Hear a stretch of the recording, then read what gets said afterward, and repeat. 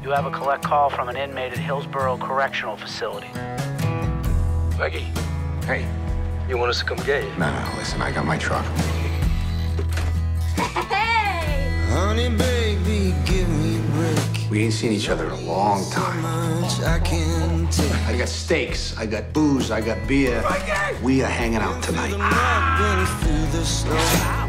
Been through life's greatest rodeo. Got a new TV, huh? I did. I mean, mine's bigger, but It says you got in. Did I get in? How's early acceptance? Oh, down, don't You know, someday I'm gonna make a lot of money, Dad. You don't have to work so hard, okay? want you to see. When she goes to UCLA, she should get a degree in marketing or something. What do you know about it?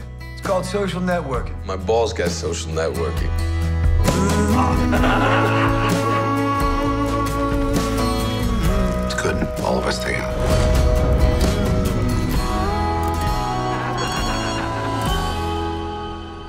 Hey, what's up? It's Frank. Yeah, you just uh, you just keep going on 93 North for a while, and then you'll uh, you'll see my shop. It's the uh, only place with this light on. Who's coming over, Frank? Oh, this kid. He's coming by. Meet my boys.